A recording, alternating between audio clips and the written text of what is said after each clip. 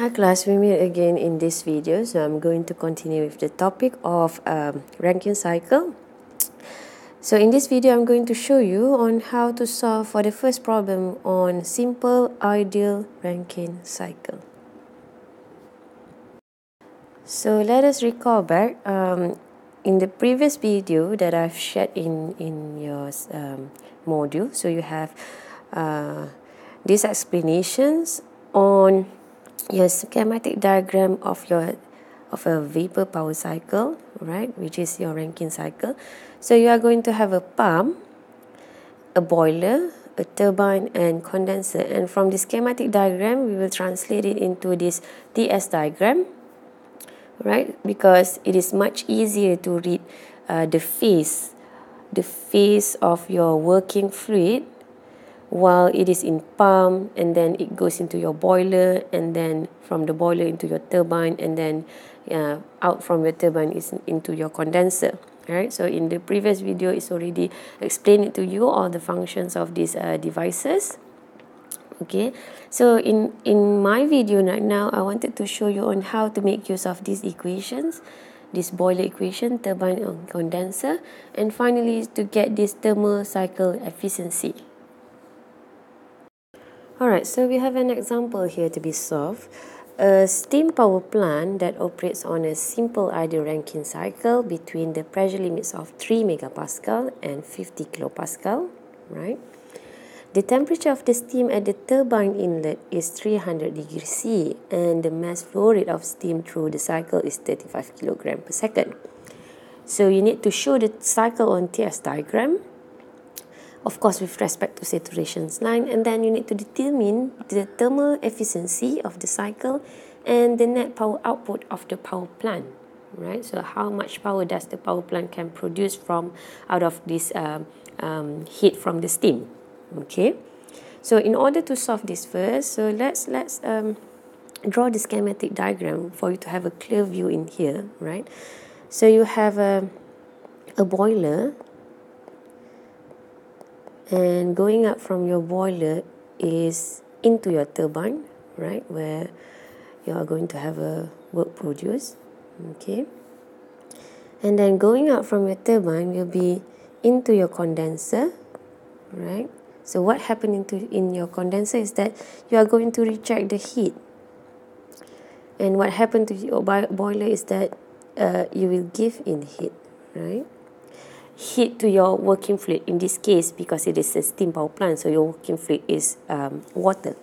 So going out from your condenser it will goes into your your pump.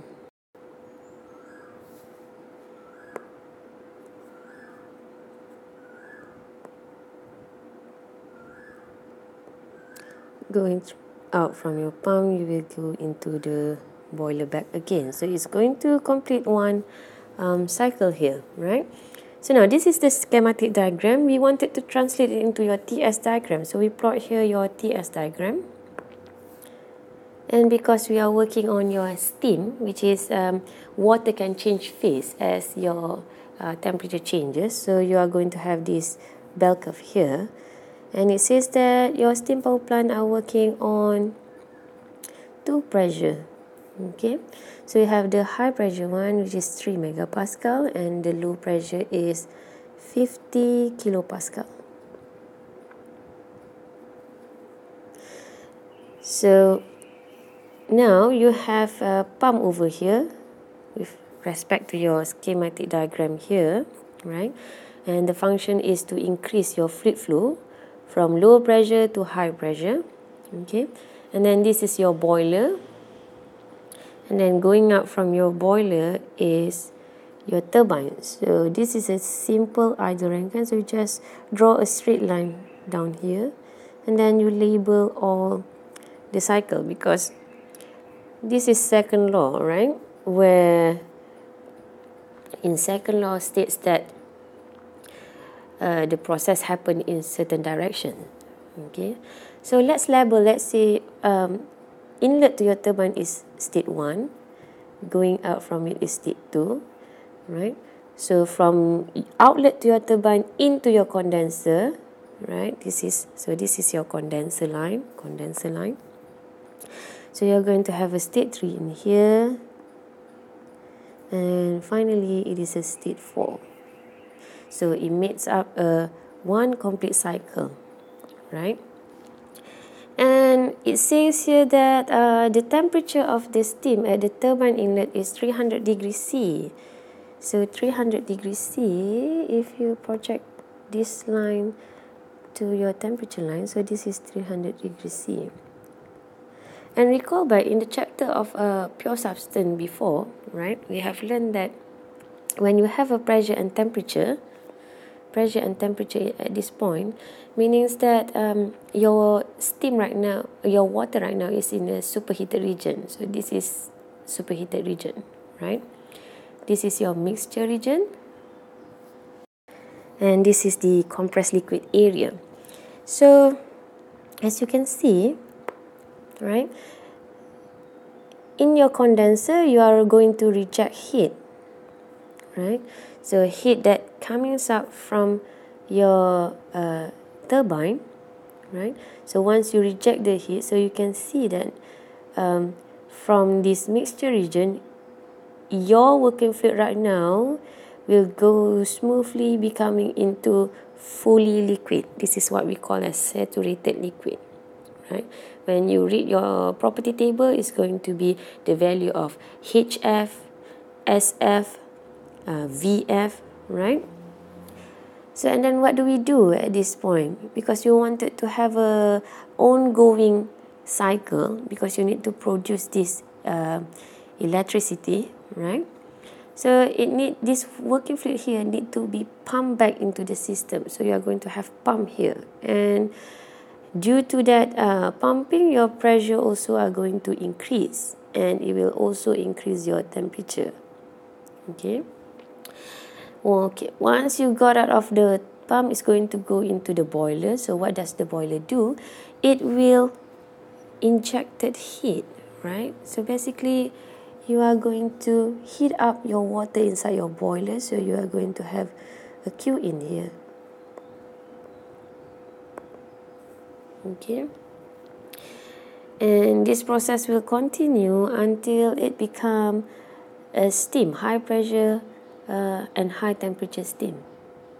Then only uh, once it get out from your boiler and into your turbine, so this hot steam, you can imagine that this hot steam will turn your turbine blade, right? And goes out from your turbine and this cycle will repeat on and on and on. That's why we need to calculate for the thermal efficiency of this cycle and how much does the network produce from it. Okay? Alright so the first question um, asks you to find the thermal cycle efficiency. So if you recall back the um, previous video thermal cycle efficiency is actually work net divided with your Q in which is work net is the desired output and Q in is how much uh, input that you put into the system, right? And this work net is actually between your work of turbine minus with your work pump and divided by your Q in. It also can be equal to your Q in minus your Q out over with your Q in. Now, how does this happen? Recall back um, things that we have learned in your second law. So you have uh, high temperature reservoir towards your low temperature reservoir.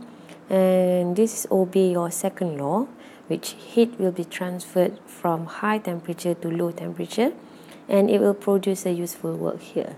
So that's why we are going to analyze your work net as Q in minus Q out also. Because without this heat source and heat sinks, this useful work will not going to be produced. So how are we going to find this uh, Q in, Q out, work turbine, work pump value?